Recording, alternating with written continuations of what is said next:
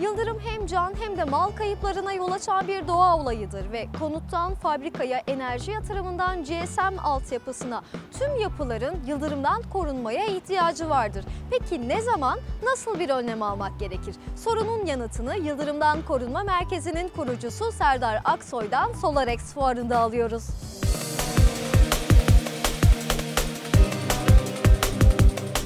Ülkemizde yıldırım ve aşırı gerilimden korunmada teknik eksiklikleri ortadan kaldırarak standartlara ve mühendislik hesaplara dayanarak sistem kurmak hedefiyle yola çıkan Yıldırımdan Korunma Merkezi, tesislere zarar gelmesini engelleyerek yatırımların güvenilir bir şekilde yönetilmesine katkı sağlıyor. 6 yıl e, süresince aşırı gerilim ve yıldırımdan korunma üzerine e, bir Alman firmasına yöneticilik yaptım. E, Daha sonra Yıldırımdan Koruma ve Topraklama Derneği'nde başkan yardım- yardımcılığı gerçekleştirdikten sonra e, Yıldırımdan Koruma Merkezi'nin kurulmasına karar verdik. Amacımız bu işin e, mühendisliğini gerçekleştirmek. E, Temel topraklama projelerinden başlayarak dış yıldırımlık tasarımı, iç yıldırımlık ve eş potansiyel sağlayarak tüm sektörlere bu konunun AIS 62305 standartları kapsamında anlatılması ve uygulanmasını gerçekleştirmek. Elektrik mühendisi Serdar Aksoy, konutlar, fabrikalar, hayvancılık işletmeleri, enerji yatırımları, telekom ve GSM altyapıları ve benzeri istisnasız tüm yapıların yıldırımdan korunmaya ihtiyacı vardır diyor. Bir tesisin dört temel korumaya ihtiyacı var. Bu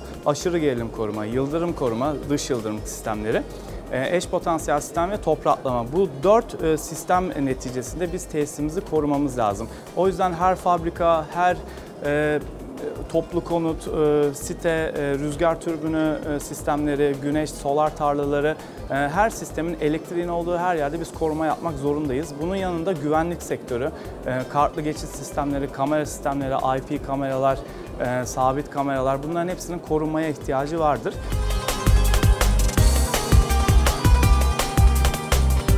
Ücretsiz keşifle bölgeye, sektöre, sistemin gerilim ve akım seviyesine göre uygulanacak en ideal sistem tespit ediliyor. Cihazların e, hassasiyeti arttıkça e, 5 volt, 12 volt seviyelerinde çalışan sistemlere 3 kilovoltluk bir darbe geldiğinde sistem devre dışı kalabiliyor.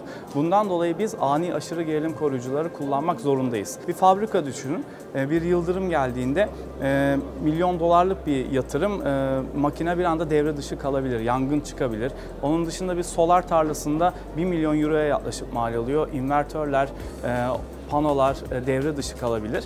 O yüzden sürdürülebilir e, yatırımlarda mutlaka ani aşırı gerilim koruyucular ve dış yıldırım sistemi bir mühendislik e, kapsamında gerçekleşmelidir. Peki bu koruma işlemi nasıl gerçekleşiyor? Serdar Aksoy sistemin çalışma prensibini izah ediyor. Ülkemizde de standartı olan AIS 62305 e, kapsamında gerçekleşen pasif yakalama uçlarıyla koruma açısı oluşturuyoruz. Yani bir paratoner sistemi kurarak tüm tesisin koruyacağını standartlarımız neticesinde e, inanmıyoruz. Bundan dolayı biz Faraday kafesi tasarlıyoruz ve e, temel topraklamasıyla bunu bütünleştirip Surge Protector'larla sistemi destekliyoruz. Biz bu işin yuvarlanan küre metoduna göre mühendisliğini yapıp projelendirip daha sonra uygulamasını gerçekleştiriyoruz. Daha sonradan sistem kurulmakla birlikte en sağlıklı olanı henüz yatırım aşamasında topraklamayla işlemlere başlanması. Yatırımın en başında bu işin temel topraklamasıyla projelendirilip dış yıldırımlık, eş potansiyel ve surge protector bir e, ayrı bir mühendislik dalı olarak binaya uygulanmalı. Aksi durumda tesis uzun sü- vadede gelebilecek bir darbeyle e, darmadağın olabilir.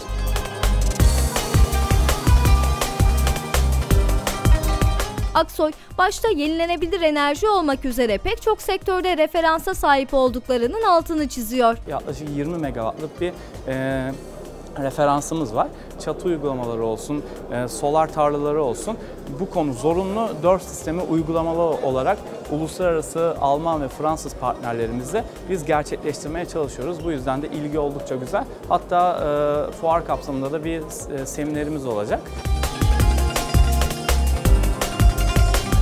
Yıldırım düşmesi sadece mal kayıplarına değil, can kayıplarına da neden olabiliyor. Bir de insanların can güvenliği çok önemli. Örneğin e, Alanya'daydık geçen hafta. Alanya Kalesi'ne bir yıldırım düştü ve e, dört gencimiz hayatını kaybetti.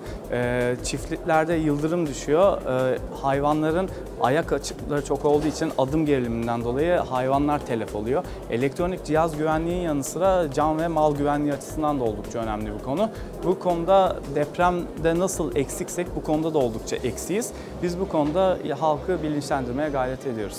Elektrik mühendisi Serdar Aksoy sözlerini noktalarken yıldırımdan korunmanın devlet mercilerince kabul gören bir yasal zorunluluk haline gelmesini diliyor. Biz Yıldırımdan Koruma Merkezi olarak amacımız e, toplum bilincini üst seviyeye e, çekerek e, maddi kayıpların önüne geçmek ve insanların can güvenliğini koruma altına alabilmek.